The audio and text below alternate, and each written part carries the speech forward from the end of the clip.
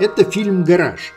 Мастерски написанный сценарий, прекрасный режиссер и целый букет непревзойденных актеров сделали фильм о всепобеждающей силе демократии. На этом можно закончить свое повествование.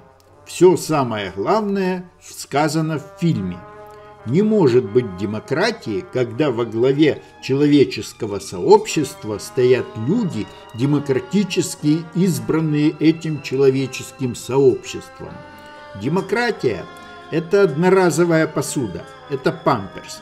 Демократия под руководством демократически избранных представителей демократии не является.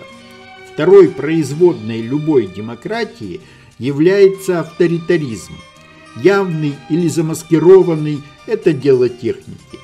Ключик фильма состоит в том, что перечень исключаемых из кооператива уже подготовлен демократически избранным руководством гаражного кооператива.